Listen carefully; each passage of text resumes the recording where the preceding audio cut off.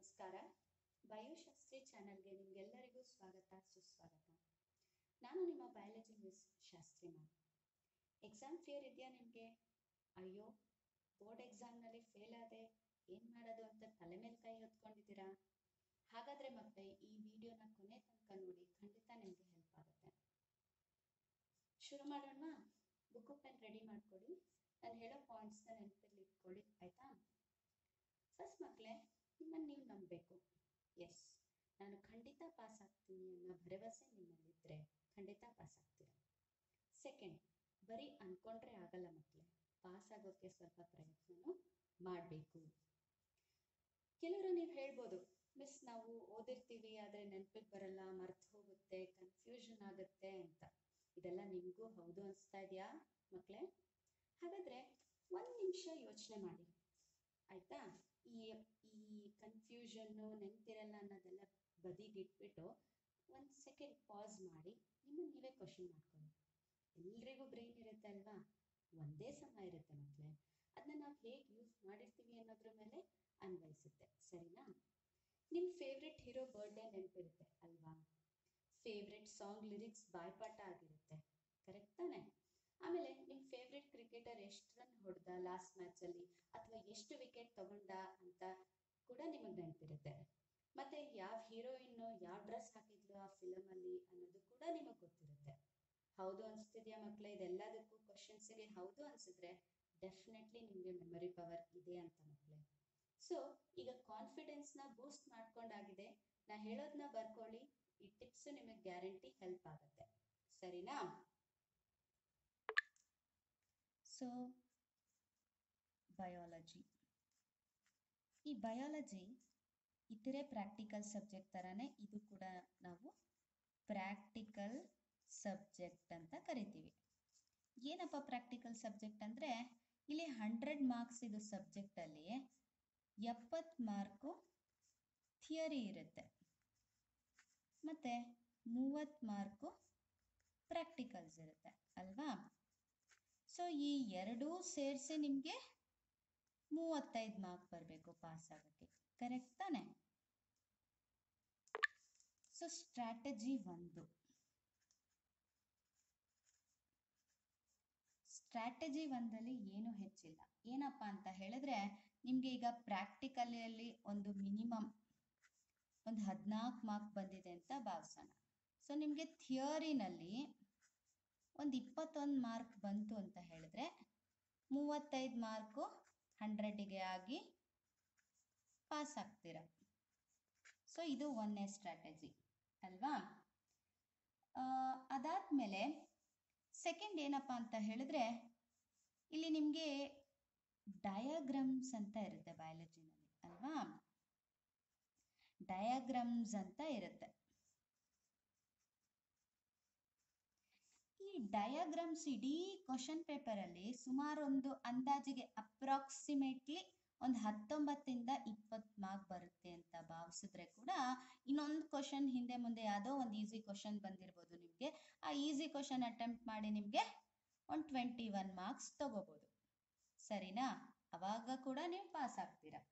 So ಇದೆಲ್ಲದಕ್ಕೂ ಮುಂಚೆ ಹೋಗೋಕ್ಕೆ ಮೊದಲು ನಾವು ಕ್ವಶನ್ ಪೇಪರ್ ಪ್ಯಾಟರ್ನ್ ಅರ್ಥ ಮಾಡ್ಕೋಬೇಕು. ಕ್ವಶನ್ ಪ್ಯಾ ಪೇಪರ್ ಪ್ಯಾಟರ್ನ್ ಅಂದರೆ ಹೇಗೆ ಇರುತ್ತೆ ಕ್ವಶನ್ ಪೇಪರು ಎಷ್ಟು ಮಾರ್ಕ್ಸ್ ಇರುತ್ತೆ, ಎಷ್ಟು ಪಾರ್ಟ್ಸ್ ಇರುತ್ತೆ, ಅದೆಲ್ಲ ಕೂಡ ನೀವು ತಿಳ್ಕೊಬೇಕಾಗತ್ತೆ. ಸೊ ಟೋಟಲಿ ಬಯಾಲಜಿ ಸಬ್ಜೆಕ್ಟಲ್ಲಿ ನಿಮಗೆ part A B C D ಅಂತ ನಾಲ್ಕು ಪಾರ್ಟ್ಸ್ ಇರುತ್ತೆ. ಆ ನಾಲ್ಕು ಪಾರ್ಟಲ್ಲಿ ಪಾರ್ಟ್ ಡಿನಲ್ಲಿ ಎರಡು ಸೆಕ್ಷನ್ ಇರುತ್ತೆ. ಸೆಕ್ಷನ್ ಒನ್ ಮತ್ತು ಸೆಕ್ಷನ್ ಟು ಸರಿನಾ? ಅದಾದಮೇಲೆ ಈ ಪಾರ್ಟ್ಸಲ್ಲಿ ಎಷ್ಟೆಷ್ಟು ಮಾರ್ಕ್ಸ್ ಇದೆ ಅಂತ ಕೂಡ ನಾವು ತಿಳ್ಕೊಬೇಕಾಗತ್ತೆ. ಪಾರ್ಟ್ ಎನಲ್ಲಿ ಒನ್ ಮಾರ್ಕ್ ಕ್ವಶನ್ಸ್ ಇರುತ್ತೆ. ಪಾರ್ಟ್ ಬಿನಲ್ಲಿ ಟೂ ಮಾರ್ಕ್ ಕ್ವಶನ್ಸ್ ಇರುತ್ತೆ. ಪಾರ್ಟ್ ಸಿನಲ್ಲಿ ತ್ರೀ ಮಾರ್ಕ್ ಕ್ವಶನ್ಸ್ ಇರುತ್ತೆ. ಪಾರ್ಟ್ ಡಿ ಸೆಕ್ಷನ್ ಒನ್ ಇಲ್ಲಿ ಕೂಡ ಐದು ಮಾರ್ಕ್ ಕ್ವಶನ್ ಇರುತ್ತೆ. ಸೆಕ್ಷನ್ ಟೂನಲ್ಲಿ ಕೂಡ ಫೈವ್ ಮಾರ್ಕ್ ಕ್ವಶನ್ಸ್ ಇರುತ್ತೆ. ಸೊ ಇವಾಗ ನಾವು ಇದನ್ನ ಟೋಟಲ್ ಎಷ್ಟೆಷ್ಟು ಕ್ವಶನ್ಸ್ ಇರುತ್ತೆ ಅಂತ ಲೆಕ್ಕ ಹಾಕೊಳ್ಳೋದಕ್ಕೆ ಹೋಗೋಣ, ಆಯ್ತಾ? ಪಾರ್ಟ್ ಎನಲ್ಲಿ ನಿಮಗೆ ಸುಮಾರು ಒಂದು ಹದಿನೈದು ಕ್ವಶನ್ಸ್ ಇರುತ್ತೆ. ಅದರಲ್ಲಿ ಎಷ್ಟು ಆನ್ಸರ್ ಮಾಡಬೇಕು ಅಂತ ಹೇಳಿದ್ರೆ ಎನಿ ಟೆನ್ ಅಂತ ಇರುತ್ತೆ. ಆಯ್ತಾ? ಎಷ್ಟು? ಎನಿ ಟೆನ್ ಅದಾದ್ಮೇಲೆ ಪಾರ್ಟ್ ಬಿ ನಲ್ಲಿ two mark questions ten questions ಇರುತ್ತೆ. ಅದಕ್ಕೆ ಎಷ್ಟು ಆನ್ಸರ್ ಮಾಡಬೇಕು ಅಂತ ಹೇಳಿರ್ತಾರೆ? ಎನಿ ಫೈವ್ ಸರಿನಾ? ಅದಾದ್ಮೇಲೆ ಪಾರ್ಟ್ ಸಿ ಪಾರ್ಟ್ ಸಿ ನಲ್ಲಿ ತ್ರೀ ಮಾರ್ಕ್ ಕ್ವಶನ್ಸ್ ಇರುತ್ತೆ. ಅದು ಕೂಡ ಹತ್ತು ಕ್ವಶನ್ಸ್ ಇರುತ್ತೆ ಕ್ವಶನ್ ಪೇಪರ್ ಅಲ್ಲಿ. ನಿಮ್ಗೆ ಆನ್ಸರ್ ಎಷ್ಟು ಮಾಡಿ ಅಂತ ಹೇಳಿರ್ತಾರೆ? ಎನಿ ಫೈವ್ ಅಗೈನ್ ಅದಾದ್ಮೇಲೆ part D section one part D section one ಅಲ್ಲಿ ಎಂಟು ಕ್ವಶನ್ಸ್ ಇರುತ್ತೆ.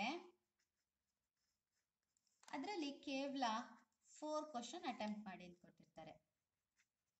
ಸೆಕ್ಷನ್ ಟೂನಲ್ಲಿ ಸೆವೆನ್ ಕ್ವಶನ್ಸ್ ಇರುತ್ತೆ. ಅದರಲ್ಲಿ ಎನಿ ತ್ರೀ ಅಟೆಂಪ್ಟ್ ಮಾಡಿ ಅಂತ ಹೇಳಿರ್ತಾರೆ. ಗಾಬರಿ ಆಗೋದು ಬೇಡ. ನೀವು ಎಲ್ಲ ಕ್ವಶನ್ಸು ಅಟೆಂಪ್ಟ್ ಮಾಡಕ್, ಮಾಡಿದ್ರೆ ನೀವು ಔಟ್ ಆಫ್ ಔಟೇ ತೆಗಿತೀರಾ. ನಿಮಗೆ ಯಾರು ಫೇಲ್ ಆಗ್ತಾ ಇದೀವಿ, ನಮಗೆ ಪಾಸೇ ಆಗಲ್ಲ ಅಂತ ಅನ್ಕೊಂಡಿದ್ದೀರಲ್ವಾ? ಅಂಥವ್ರಿಗೆ ಇಲ್ಲಿ ನಾನೊಂದೆರಡು ಟ್ರಿಕ್ಸ್ ಹೇಳ್ತೀನಿ. ಸೊ ಇದರಲ್ಲಿ ನೀವು ಪಾರ್ಟ್ ಡಿ ಗಮನಿಸಿದ್ರೆ ಈಗ ಇದು ಮೂರು ಸೇರಿಸಿದ್ರೆ ನಮಗೆ ಟೆನ್ ಅಂದರೆ one into ten mark ten mark ten questions one in one mark into ten questions ten mark next two marks ಇದು ಕ್ವಶನು ಟೂ ಇಂಟು ಫೈವ್ ಎಷ್ಟು ಕ್ವಶನ್ಸ್ ಅಟೆಂಪ್ಟ್ ಮಾಡಬೇಕಾಗಿರೋದು? Five five two ten mark ಇಲ್ಲಿ part C ನಲ್ಲಿ five mark five questions ತ್ರೀದು three five fifteen mark so ನಿಮಗೆ question paper ಮೂರು part ಸೇರಿಸಿದ್ರೆ ಮೂವತ್ತೈದು mark ಬರುತ್ತೆ. ಈ part D ಅಲೋನಲ್ಲಿ four five four into five twenty mark ಇಲ್ಲಿ three into five fifteen mark so part D ಒಂದೇ ಸೆಕ್ಷನ್ನ ನೀವೇನಾರ ಅಟೆಂಪ್ಟ್ ಮಾಡಿದ್ರೆ, ಇಲ್ಲಿ ನೋಡ್ಬೋದು ನೀವು. ಮೂವತ್ತೈದು ಮಾರ್ಕು ಬರೀ ಪಾರ್ಟ್ ಡಿ ನಲ್ಲೇ ಇದೆ. ಸೊ ಸ್ಟ್ರಾಟಜಿ ಒನ್ ಏನು ಇಲ್ಲಿ ಏನ್ ಸ್ಟ್ರಾಟಜಿ ಹಾಕ್ಬೋದು ನೀವು? ಫೈವ್ ಮಾರ್ಕ್ ಕ್ವಶನ್ಸ್ನ ನೀವು ಕಾನ್ಸಂಟ್ರೇಟ್ ಮಾಡಿದ್ರೆ ಅಥವಾ ಪ್ರತಿ ಚಾಪ್ಟರ್ ಅಲ್ಲಿ ಎಲ್ಲಿ ಫೈವ್ ಮಾರ್ಕ್ ಕ್ವಶನ್ಸ್ ಅಂತ ನಿಮ್ಗೆ ಟೀಚರ್ಸ್ ಹೇಳಿರ್ತಾರೆ, ಅಂತ ಕ್ವಶನ್ಸ್ನ ನೀವು ಫೋಕಸ್ ಮಾಡಿದ್ರು ಕೂಡ ಕೇವಲ ಎಷ್ಟು ಕ್ವಶನ್ಸ್ ಕರೆಕ್ಟ್ ಆಗ್ಬೇಕಾಗಿರೋದು? ಫೈವ್ ಕ್ವಶನ್ಸ್ ಕರೆಕ್ಟ್ ಆಯ್ತು ಅಂತ ಹೇಳಿದ್ರೆ five questions into five mark twenty five marks ಇಲ್ಲೇ ಬಂದು ಹೋಗುತ್ತೆ ಮಕ್ಕಳೇ ಪಾಸ್ ಆಗ್ತೀರಾ ನೀವು? ಸೊ ಕೆಲವರು ಫೈವ್ ಮಾರ್ಕ್ ಕ್ವಶನ್ಸ್ ಕಷ್ಟ ಆಗುತ್ತೆ ಮಿಸ್ ನಮಗೆ ಬರೆಯೋಕ್ಕಾಗಲ್ಲ, ತುಂಬ ಲೆಂತಿ ಇರುತ್ತೆ ಡಯಾಗ್ರಾಮು ಇರುತ್ತೆ ಎಕ್ಸ್ಪ್ಲನೇಷನ್ನು ಇರುತ್ತೆ ಅಂತ ಹೇ, ಅನ್ಕೊಳ್ಳೋ ಮಕ್ಕಳು ಸ್ವಲ್ಪ ಈಸಿ ಇರೋ ಡಯಾಗ್ರಾಮ್ಸನ್ನ ನೋಡ್ಕೊಳ್ಳಿ. ಇದಾಗಲ್ಲ ಕ್ವಶನ್ಸಲ್ಲಿ ಕಷ್ಟ ಆಗುತ್ತೆ, ಬರೀ ಫೈವ್ ಮಾರ್ಕ್ಸ್ ಅಂತ ಹೇಳೋರು, ಕೆಲವು ಫೈವ್ ಮಾರ್ಕ್ಸ್ನ ಓದ್ಬಿಟ್ಟು ಡಯಾಗ್ರಾಮ್ಸ್ ಮೇಲೆ ಕೂಡ ಡಿಪೆಂಡ್ ಆಗ್ಬೋದು. ಕೆಲವು ಕ್ವಶನ್ ಪೇಪರಲ್ಲಿ ಹತ್ತೊಂಬತ್ತರಿಂದ ಇಪ್ಪತ್ ಮಾರ್ಕ್ಸ್ ನೀವು previous year papers annual papers ಯಾವ್ದೇ ನೋಡಿದ್ರು ಕೂಡ ಒಂದು ನೈನ್ಟೀನ್ ಟು ಟ್ವೆಂಟಿ ಮಾರ್ಕ್ಸ್ ಅಥವಾ ಟ್ವೆಂಟಿ ಒನ್ ಮಾರ್ಕ್ಸ್ ಡಯಾಗ್ರಾಮ್ ಕೊಟ್ಟಿರ್ತಾರೆ. ಸ್ಕಿಮ್ಯಾಟಿಕ್ ರೆಪ್ರೆಸೆಂಟೇಷನ್ ಇರ್ಬೋದು ಅಥವಾ ಫ್ಲೋ ಚಾರ್ಟ್ ಇರ್ಬೋದು, ಅದೆಲ್ಲ ಸೇರಿಸ್ಕೊಂಡ್ರು ನಿಮ್ಗೆ ಇಪ್ಪತ್ತೊಂದು ಮಾರ್ಕ್ಸ್ ಬರುತ್ತೆ. ಬಟ್ ಅದು ಚಾನ್ಸ್ ಫ್ಯಾಕ್ಟರ್ ಅಥವಾ ಲಕ್ ಫ್ಯಾಕ್ಟರ್ ಅಂತ ಹೇಳ್ಬೋದು. ಕ್ವಶನ್ ಪೇಪರ್ ಸೆಟ್ ಮಾಡಿದವರು ಡಯಾಗ್ರಾಮ್ಸ್ ಜಾಸ್ತಿ ಕೊಟ್ಟಿಲ್ಲ ಅಂತ ಹೇಳಿದ್ರೆ ಅಲ್ಲಿ ನಿಮ್ಗೆ ರಿಸ್ಕ್ ಆಗುತ್ತೆ. ಸೊ ನಾನು ನೆಕ್ಸ್ಟ್ ತುಂಬಾ ಬೆಸ್ಟ್ ಸ್ಟ್ರಾಟಜಿ ಹೇಳ್ತಾ ಇದ್ದೀನಿ. ದ ಥರ್ಡ್ ಸ್ಟ್ರಾಟಜಿ ಸೊ ಇಲ್ಲೇನಂತ ಹೇಳಿದ್ರೆ, ನಾನು ಪಾರ್ಟ್ ಎ ಪಾರ್ಟ್ ಎ ನಲ್ಲಿ ಒನ್ ಮಾರ್ಕ್ ಕ್ವಶನ್ಸ್ ಇರುತ್ತೆ ಅಂತ ಹೇಳಿದೆ. ಪಾರ್ಟ್ ಬಿ ನಲ್ಲಿ ಟೂ ಮಾರ್ಕ್ ಕ್ವಶನ್ಸ್ ಇರುತ್ತೆ ಅಂತ ಹೇಳಿದೆ. ಪಾರ್ಟ್ ಸಿ ನಲ್ಲಿ ತ್ರೀ ಮಾರ್ಕ್ ಕ್ವಶನ್ಸ್ ಇರುತ್ತೆ ಅಂತ ಹೇಳಿದೆ. ಮತ್ತೆ ಪಾರ್ಟ್ ಡಿ ನಲ್ಲಿ ಸೆಕ್ಷನ್ ಒನ್ ಮತ್ತೆ ಸೆಕ್ಷನ್ ಟೂನಲ್ಲಿ ಫೈವ್ ಮಾರ್ಕ್ ಕ್ವಶನ್ಸ್ ಇರುತ್ತೆ ಅಂತ ಹೇಳಿದೆ, ಅಲ್ವಾ? ನೀವಿಲ್ಲಿ ಏನು ಕ್ವಶನ್ ಪೇಪರಲ್ಲಿ ಐವತ್ತು ಕ್ವಶನ್ ಇರುತ್ತೆ ಮಕ್ಕಳ ಈ ವರ್ಷ ನಿಮಗೆ ಪ್ಯಾಂಡಮಿಕ್ ಇಯರ್ ಇತ್ತು ಕೊರೋನಾ ಆಗಿತ್ತು, ಮತ್ತೆ ಆನ್ಲೈನ್ ಕ್ಲಾಸಸ್ ಆಗಿತ್ತು ಅಂದ್ಬಿಟ್ಟು ನಿಮಗೆ ಇಲ್ಲಿ ನಂಬರ್ ಆಫ್ ಕ್ವಶನ್ಸ್ ಚಾಯ್ಸ್ ಜಾಸ್ತಿ ಕೊಟ್ಟಿದ್ದಾರೆ. So it is one luck ಅಂತಾನೆ ಹೇಳ್ಬೋದು ನಿಮಗೆ.